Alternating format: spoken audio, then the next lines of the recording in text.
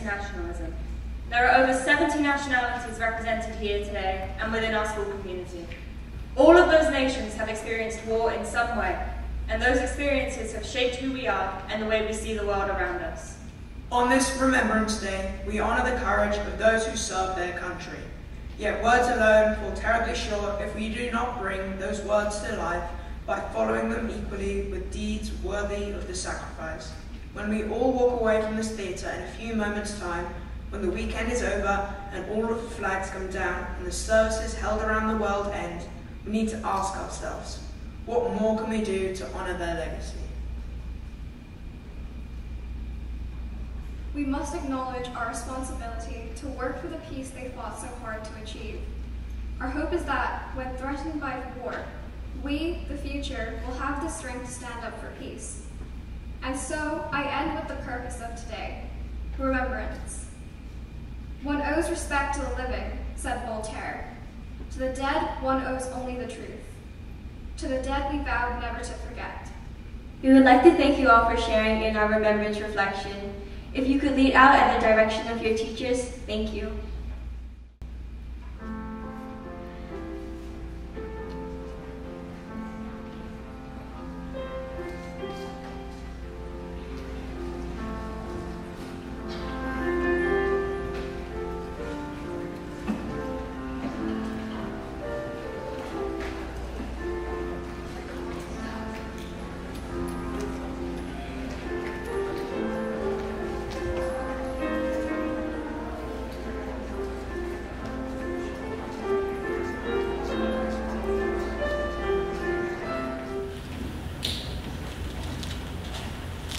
The eleventh hour of the eleventh day of the eleventh month.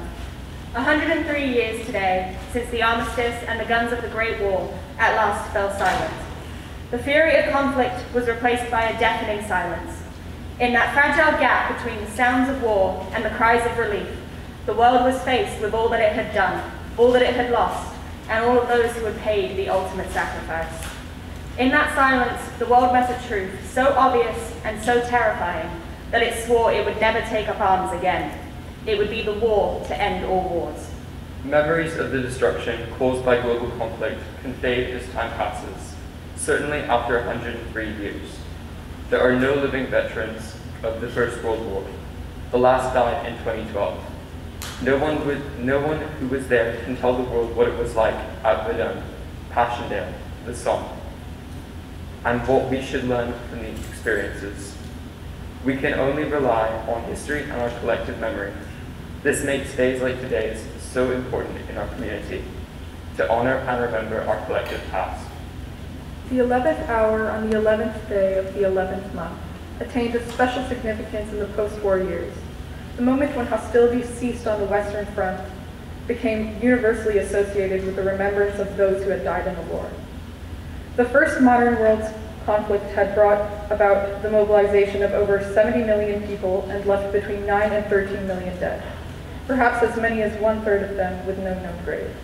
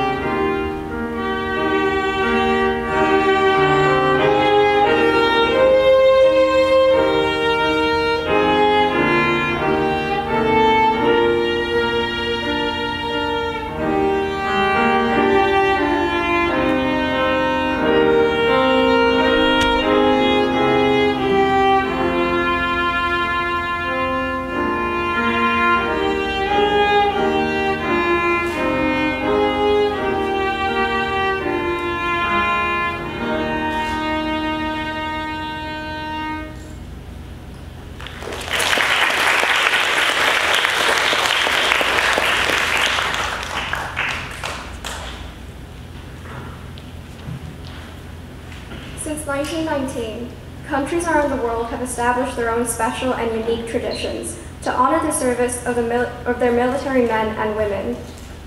A hundred years ago today, the armistice of 1921 marked an important event in the USA. The interment of one unknown American soldier at a special tomb to be built in Arlington National Cemetery. The purpose was to bring home the body of an unknown American warrior, who in himself represents no section, creed, or race in the late war, and who typifies, moreover, the soul of America and the supreme sacrifice of her heroic deed. On November 11, 1921, the unknown soldier was placed on horse-drawn carriage and carried in procession through Washington, D.C. A state federal, a state federal funeral was held in Arlington National Cemetery, where the unknown soldier was placed in the tomb of the unknown soldier. Nationwide, Americans observed two minutes of silence at the beginning of the ceremony.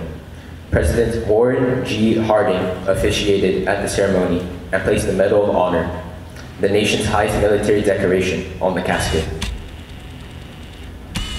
In the, years, in the years that have followed, thousands of visitors head to Arlington National Cemetery to mourn at the tomb and pay their respects to the unknown soldier and the military personnel he represents.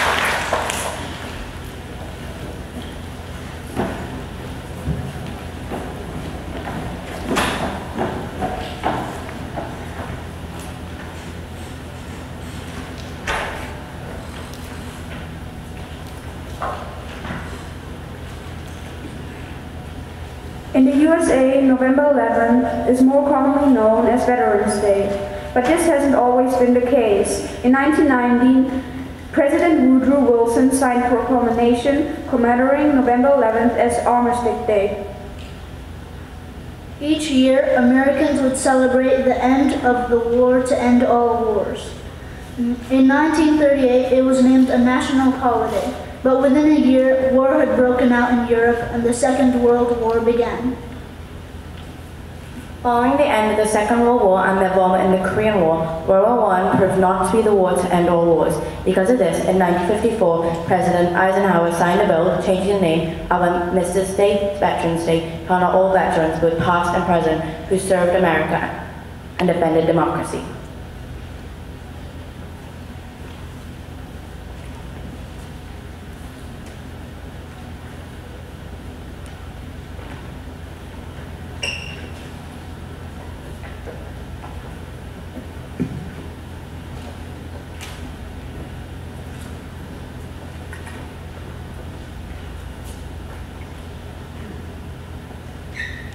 in Flanders Field by Colonel John McCrae of the Canadian Army, written in 1915.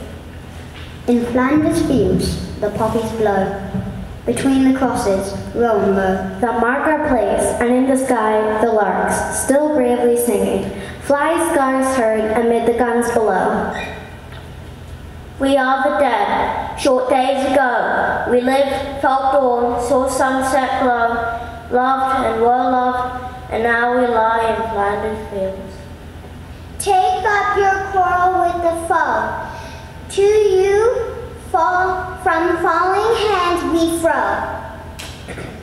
The torch be yours to hold it high. If ye break faith with us, we die. We shall not sleep though poppies grow in Flanders fields.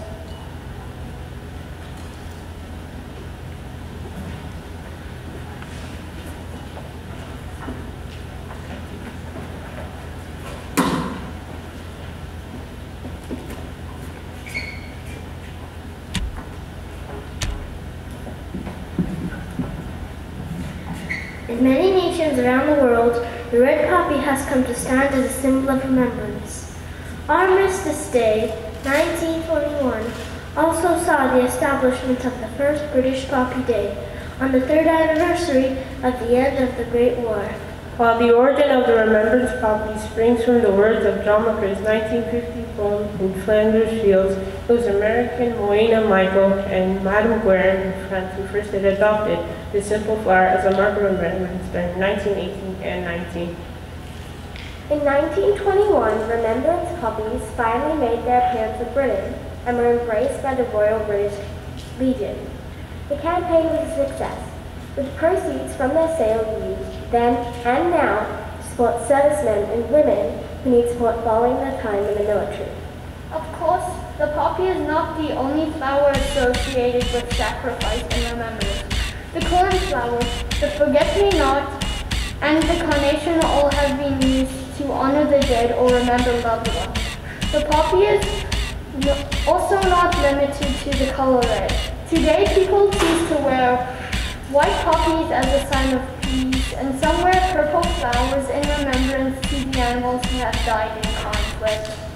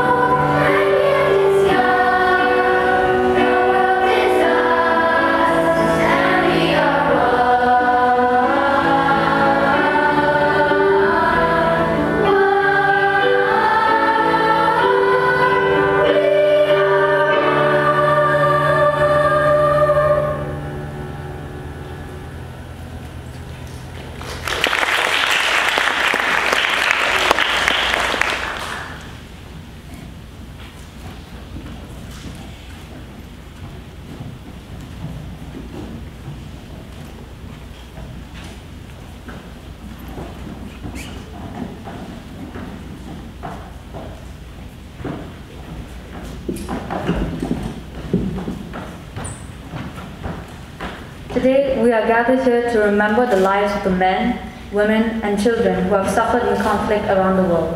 In the First World War and in all conflicts that have taken place in the 103 years since its end. Today, we assemble to think, to think about those who have fallen victim to the perils of warfare. We do not seek to glorify conflict, but to commemorate those who have laid down their lives in the name of war. Parents who never saw their children again, husbands and wives who never saw their spouses again, and friends who never saw their companions again. Today, it is essential to remember that there are seldom victors in war. The nature of war always demands the sacrifice of human life. We must never forget that human life, regardless of our nationality, race, age, and gender, is indispensable, precious, and priceless. Soldiers from around the world, on all sides, for, and for countless generations, have fought and died for their country. Despite their obvious differences, they have all possessed the same fundamental qualities. They possess pride, courage, and selflessness. These are the qualities we are choosing to remember and honor today.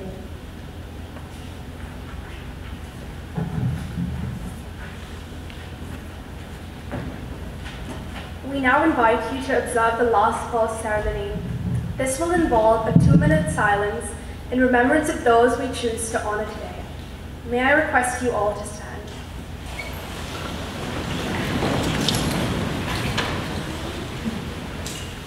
We shall grow not old, as we are left that are left grow old. Age shall not weary them, nor the years condemn. At the going down of the sun, and in the morning, we will remember them.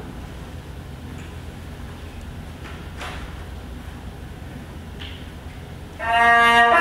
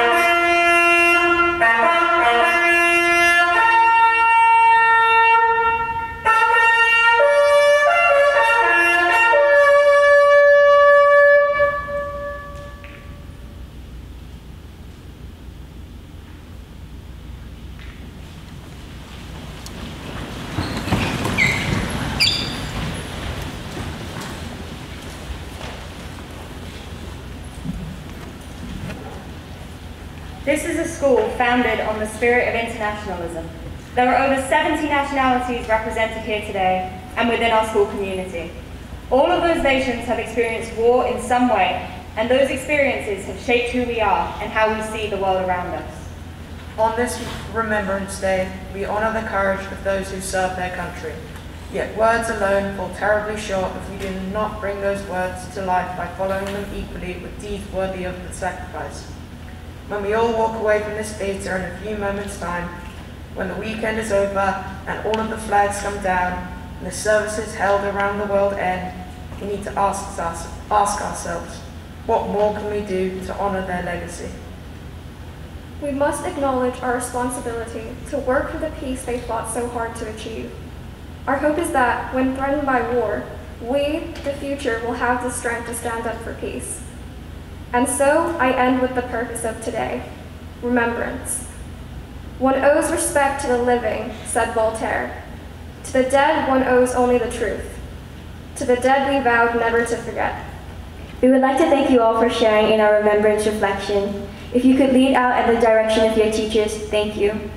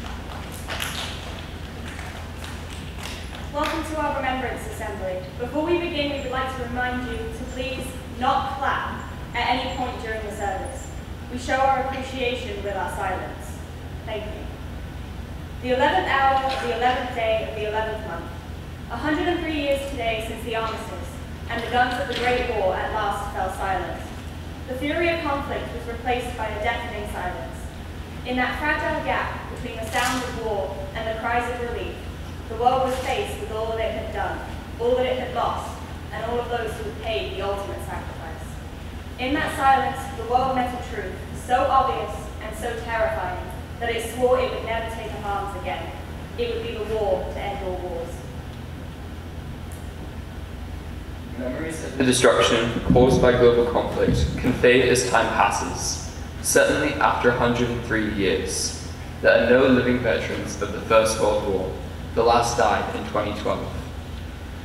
No one can tell the world what it was like at Verdun, Passchendaele, the Somme, and what we should learn from their experiences. We can rely only on history and our collective memory. This makes days like today so important in our community to honor and remember our collective past. The 11th hour of the 11th day of the 11th month attained a special significance in the post-war years. The moment when hostilities ceased on the Western Front became universally associated with the remembrance of those who had died in the war.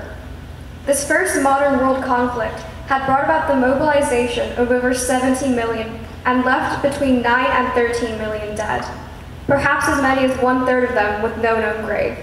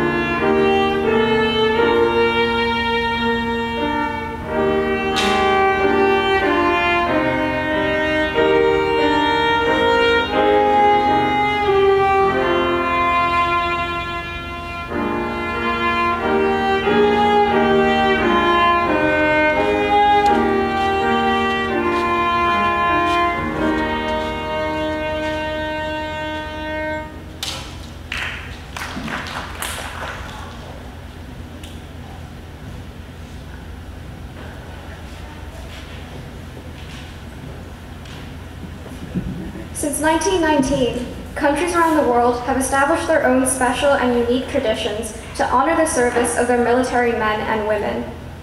A hundred years ago today, the Armistice of 1921 marked an important event in the USA, the interment of one unknown American soldier at a special tomb to be built in Arlington National Cemetery. The purpose was to bring home the body of an unknown American warrior who in himself represents no section, creed, or race in the late war, and who typifi- typifies, moreover, the soul of America and the supreme sacrifice of her heroic deed. On November 11, 1921, the unknown soldier was placed on a horse-drawn carriage and carried in procession through Washington, D.C. A state funeral ceremony was held at Arlington National Cemetery, where the remains were interred in the tomb of the unknown soldier. Nationwide, Americans observed two minutes of silence at the beginning of the ceremony. President Warren G. Harding officiated at the ceremony and placed the Medal of Honor, the nation's highest military decona- decoration, on the casket. In the years that have followed, thousands of visitors head to Arlington National Cemetery to mourn at the tomb and pay their respects to the unknown soldier and the military personnel he represents.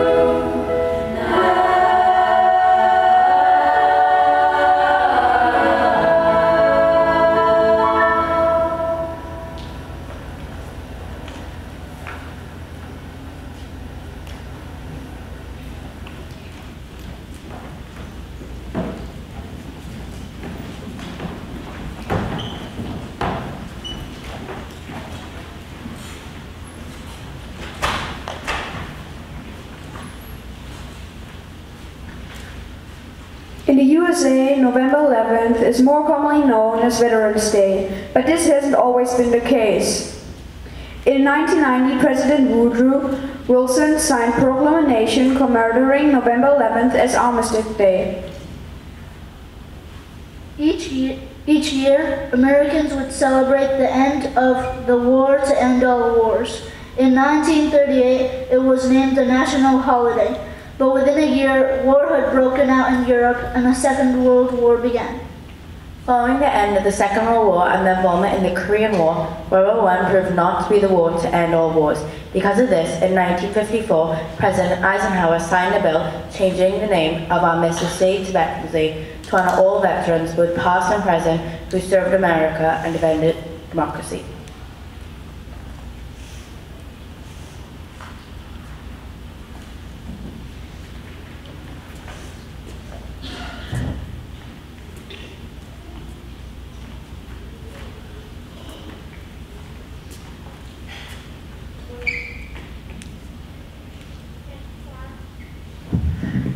In Flanders Fields, in Flanders Fields by Colonel John McCrae of the Canadian Army, written in 1915. In Flanders fields, the poppies blow. Between the crosses, row and row. That mark our place, and in the sky, the larks, still bravely singing. Fly scars heard amid the guns below. We are the dead, short days ago. We lived, felt dawn, saw sunset glow, loved and were loved, and now we lie in Flanders fields. Take up your quarrel with the foe. To you from falling hands we throw. The torch be yours to hold it high, if ye break faith with us who die. We shall not sleep though poppies grow in Flanders fields.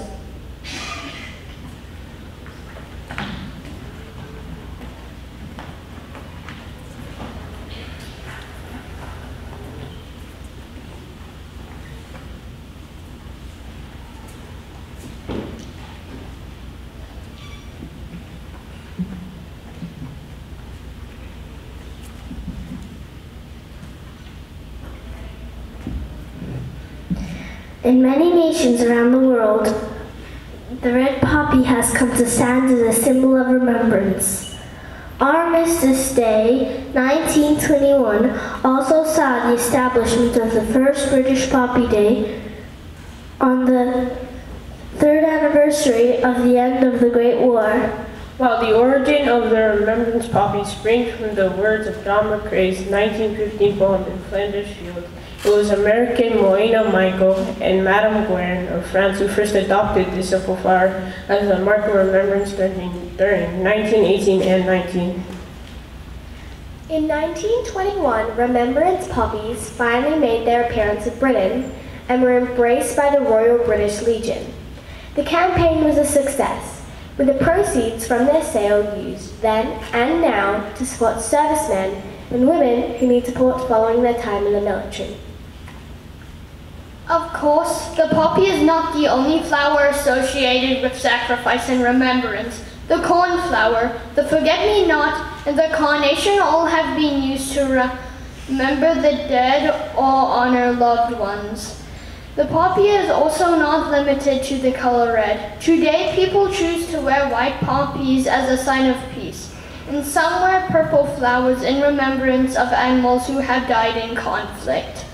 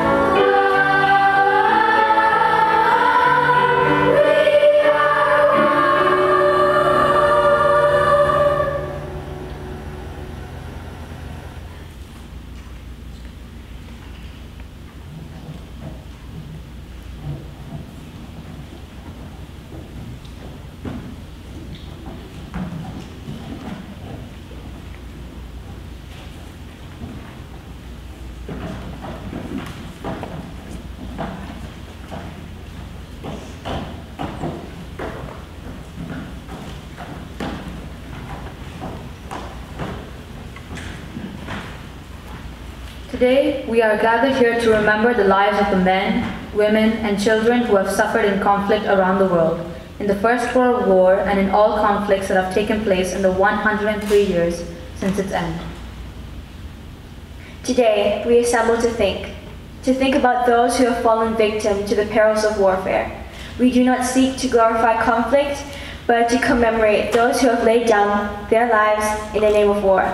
Parents who never saw their children again, husbands and wives who never saw their spouses again, and friends who never saw their companions again. Today, it is essential to remember that there are seldom victors in war. The nature of war always demands the sacrifice of human life. We must never forget that, that human life, regardless of our nationality, race, age, and gender, is indispensable, precious, and priceless. Soldiers from around the world, on all sides, and for countless generations, have fought and died for their country. Despite their obvious differences, they have all possessed the same fundamental qualities. They possess pride, courage, and selflessness. These are the main qualities we are choosing to remember and honor today.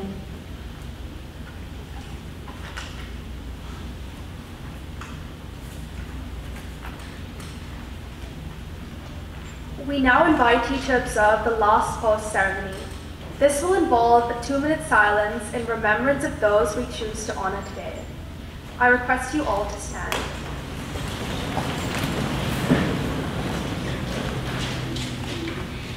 They shall grow not old, as we that are left grow old.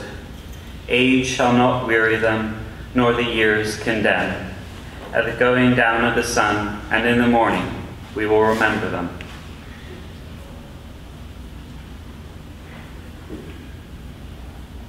Thank you.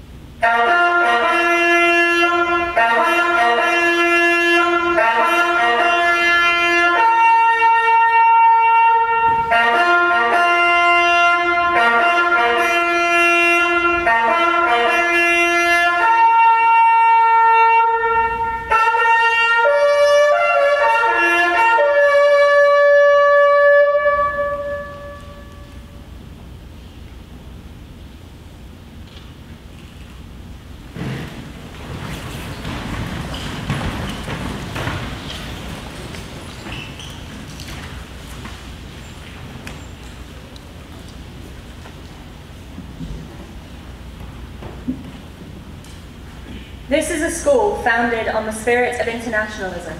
There are over 70 nationalities represented here today and within our school community. All of those nations have experienced war in some way, and those experiences have shaped who we are and the way we see the world around us. On this Remembrance Day, we honour the courage of those who serve their country. Yet words alone fall terribly short if we, don't, if we do not bring those words to life by following them equally with deeds worthy of the sacrifice. When we all walk away from the this theatre in a few moments' time, when the weekend is over and all of the flags come down, and the services held around the world end, we need to ask ourselves, what more can we do to honour their legacy? We must acknowledge our responsibility to work for the peace they fought so hard to achieve. Our hope is that, when threatened by war, we, the future, will have the strength to stand up for peace. And so I end with the purpose of today remembrance. One owes respect to the living, said Voltaire. To the dead, one owes only the truth. To the dead, we vowed never to forget. We would like to thank you all for sharing in our remembrance reflection. If you could lead out at the direction of your teachers, thank you.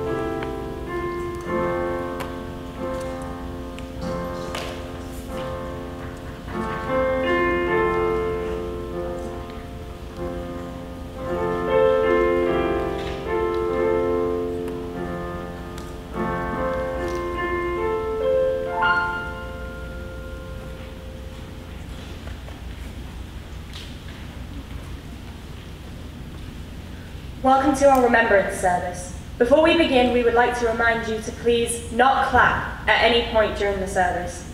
We show our appreciation with our silence. Thank you. The 11th hour of the 11th day of the 11th month. 103 years today since the armistice and the guns of the Great War at last fell silence. The fury of conflict was replaced by a deafening silence. In that fragile gap between the sounds of war and the cries of relief, the world was faced with all that it had done, all that it had lost, and all those who had faced, who had paid the ultimate sacrifice. In that silence, the world met a truth so obvious and so terrifying that it swore it would never take up arms again. It would be the war to end all wars. Memories of the destruction caused by global conflict can fade as time passes. Certainly after 103 years. There are no living veterans of the First World War. The last died in 2012. No one who was there can tell the world what it was like at Verdun, Passchendaele, the Somme, and what we should learn from their experiences. We can rely only on history and our collective memory. This makes days like today so important in our community, to honor and remember our collective past. The 11th hour of the 11th day of the 11th month attained a special significance in the post-war years. The moment when hostilities ceased on the Western Front became universally associated with the remembrance of those who had died in the war. This first modern world conflict had brought about the mobilization of over 70 million people and left between 9 and 13 million dead, perhaps as many as one third of them with no known grave.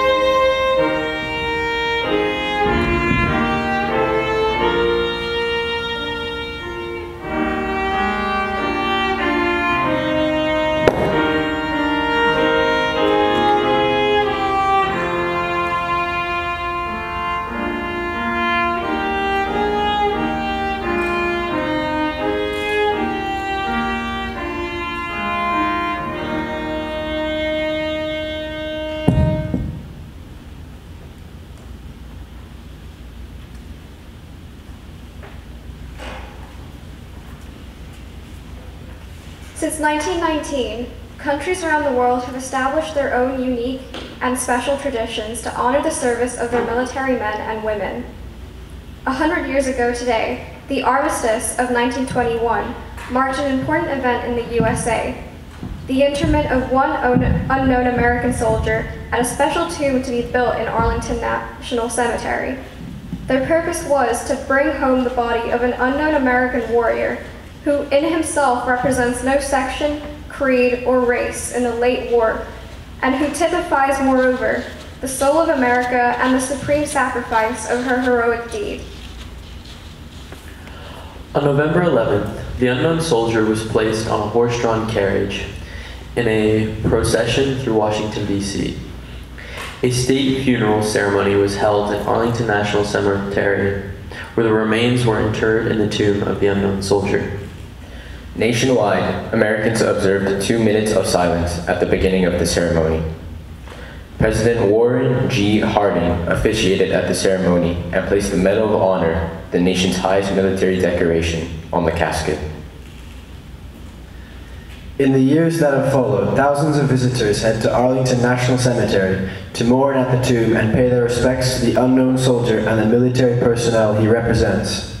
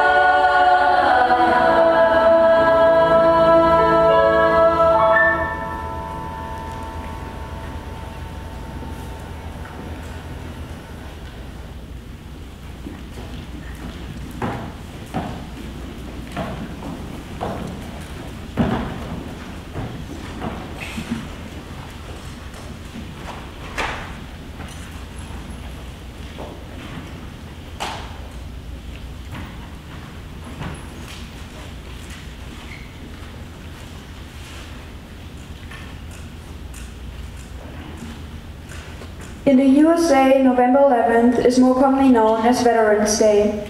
But this hasn't always been the case. In 1990, President Woodrow Wilson signed proclamation commemorating November 11th as Armistice Day. Each year, Americans would celebrate the end of the war to end all wars. In 1938, it was named a national holiday, but within a year, war had broken out in Europe and the Second World War began. Following the end of the Second World War and the involvement in the Korean War, World War I proved not to be the war to end all wars. Because of this, in 1954, President Eisenhower signed a bill changing the name of Armistice Day to Veterans Day to honor all veterans, both past and present, who served America and defended democracy.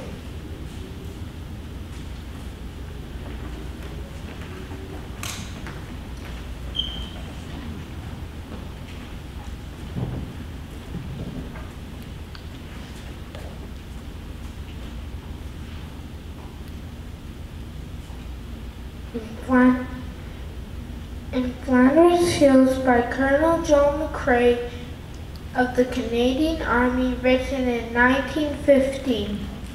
In Flanders Fields, the poppies blow, between the crosses, row and row, that mark our place, and in the sky the larks, still bravely singing, fly scars heard amid the guns below. We are the dead, we are the dead, short days ago, we lived, felt dawn, saw sunset glow, loved and were loved, and now we lie in Flanders fields. Take up your quarrel with the foe. To you from falling hands we throw. The torch be yours to hold it high. If ye break faith with us, who dies? We shall not sleep though poppies grow in Flanders fields.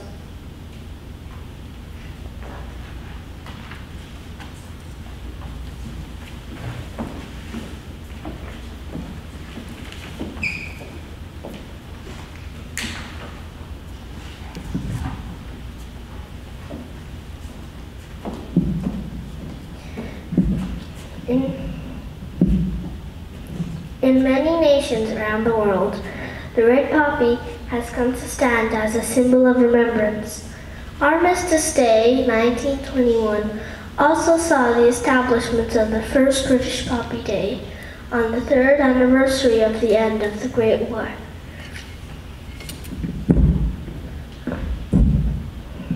While the origin of the remembrance poppy springs from the words of John McCrae's 1915 poem in Flanders Fields, it was American Moina Michael and Madame Guerin of France who first adopted this simple flower as a mark of remembrance during 1918 and 19. In 1921, remembrance poppies finally made their way to Britain and were embraced by the Royal British Legion. The campaign was a success with the proceeds from their sale used then and now to support servicemen and women who need support following their time in the military. Of course, the poppy is not the only flower associated with sacrifice and remembrance. The cornflower, the forget-me-not, and the carnation all have been used to honor the dead or remember loved ones. The poppy is not limited to the color red. Today, people choose to wear white poppies as a sign of peace, and some wear purple flowers in remembrance to the animals who have died in conflict.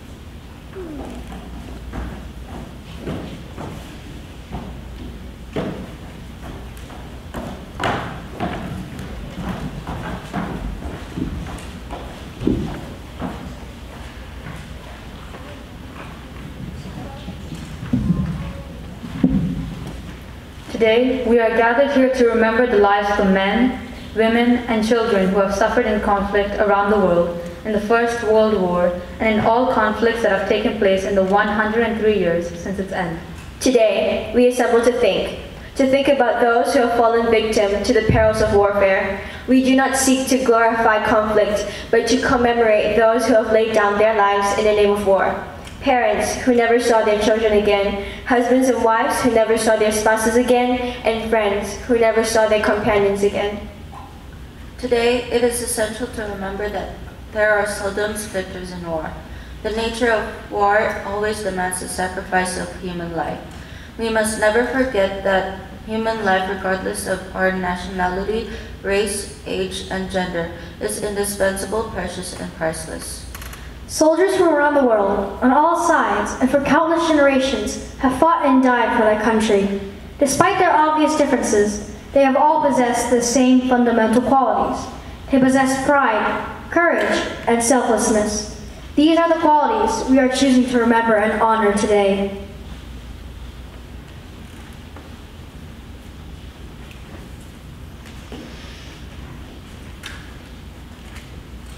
We now invite you to observe the last post ceremony. This will involve a two-minute silence in remembrance of those we choose to honor today. May I request you all to stand?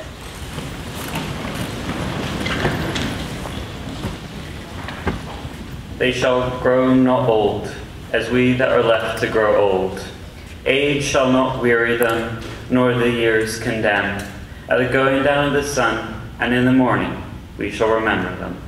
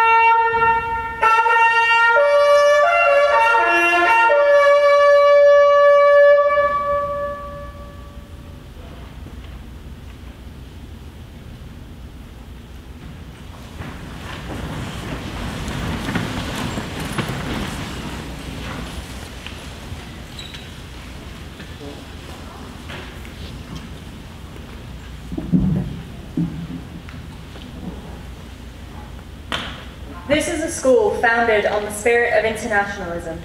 There are over 70 nationalities represented here today and within our school community. All of those nations have experienced war in some way, and those experiences have shaped who we are and the way we see the world around us. On this Remembrance Day, we honor the courage of those who serve their country. Yet words alone fall terribly short if we do not bring those words to life by following them equally with deeds worthy of the sacrifice. When we all walk away from this theatre in a few moments' time, when the weekend is over and all of the flags come down and the services held around the world end, we need to ask ourselves, what more can we do to honour their legacy? We must acknowledge our responsibility to work for the peace they fought so hard to achieve. Our hope is that, when threatened by war, we, the future, will have the strength to stand up for peace. And so, I end with the purpose of today remembrance. One owes respect to the living, said Voltaire. To the dead, one owes only the truth. To the dead, we vowed never to forget. We would like to thank you all for sharing in our remembrance reflection. If you could lead out at the direction of your teachers, thank you.